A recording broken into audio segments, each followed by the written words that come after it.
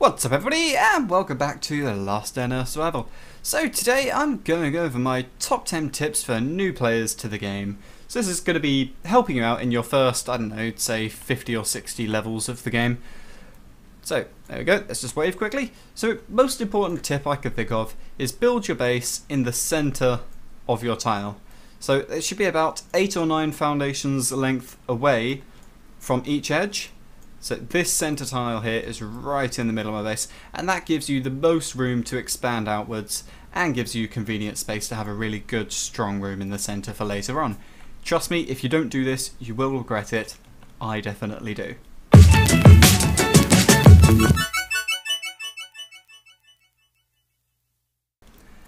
Second tip, use the healer's experience buff to level up faster. It is incredibly useful. I currently haven't got it showing up there as you can see. But yeah, it is incredibly useful. It gives you double experience. Use it. Don't ignore the healer because you don't want to watch a 30 second ad for an hour of double XP. And once you've got the XP buff, visit the yellow zones just for the most optimum use of it. You're quite early on in the game, you probably haven't got the stuff you need to take on red zones yet, but yellow zones, there's quite a few zombies there, but there's not too many of the larger, stronger ones, and you're pretty much guaranteed to not run into the big one, which is always good.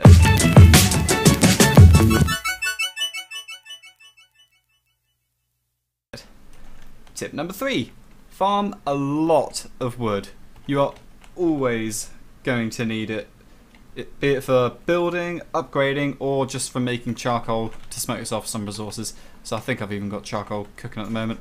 There you go, 20 in there, making some in there. So yeah, always try and have it stockpiled. Always have wood being turned into planks as well. So here we go, 20 in there, 20 in there. Oh, there we go, I can stock that up. Get that turned into planks. You're going to need a constant supply of wood coming in. It is ridiculously useful. It's the main core of the game. You're going to need it.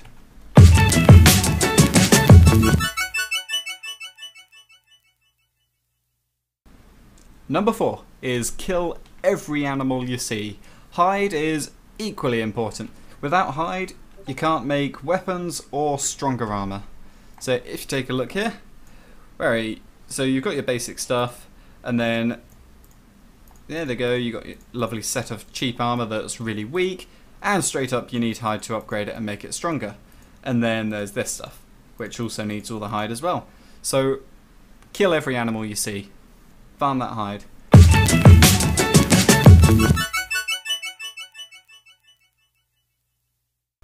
Next up would be don't cook meat. When you're killing those animals to farm their hide, you want to put it on the tanning rack, and their meat, you put in the meat dryer. It doesn't require any resources at all to cook it. Whereas if you put it in here, you have to use your charcoal to smelt it all. Whereas, might as well just throw it in there. Takes a little bit longer, I believe, but it's definitely worth it.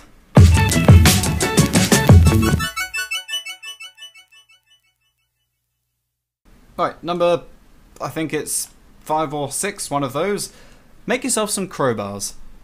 If you take a look here, you unlock them pretty early on. They are, there you go. See, I think you get them at about level 20 roughly, and they're really cheap to make. Seven iron bars, three leather. Don't see why you wouldn't make it.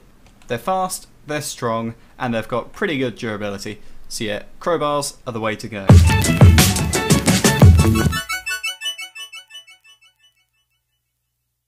Number 7 or F, I've forgotten how I'm doing all of this. Get the sewing benches made as soon as you can. So here they are. These are your sewing benches. You can have three of them on your map. I've only got two at the moment. Sewing benches are going to cost you 20 planks, 15 iron, and 5 rubber parts each. And farm plant fibres. Having a constant supply of cloth is incredibly important for both. Sorry, I'm dying quickly. Having constant supply of cloth is incredibly important for both bandages and for your armour, as you've already seen.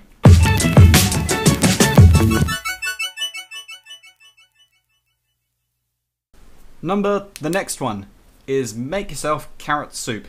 You'll get these seeds whilst you're out farming all of that cloth, and each seed makes two carrots, and each carrot will make one carrot soup. With all the wood farming you'll be doing, you'll have easily enough charcoal to cook all of this up. So you definitely want to be making yourself carrot soup. It is really good for healing you.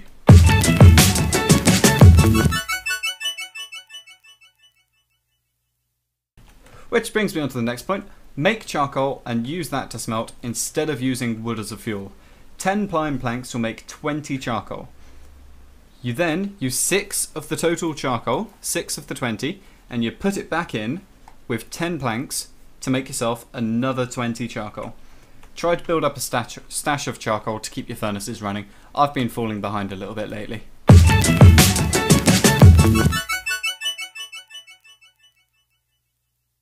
And finally for tip number 10, get working on Bunker Alpha.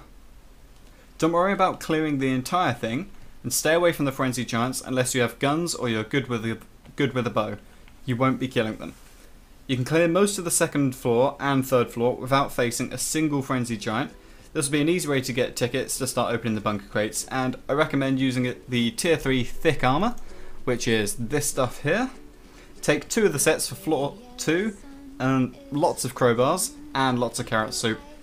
This isn't a tutorial video on how to clear the bunker, you got to work that all out for yourself. Yeah, I hope you've all enjoyed my top 10 tips for new players to the game. If you can think of anything else that I haven't added in, then let me know in the comments below. Hmm. Bye!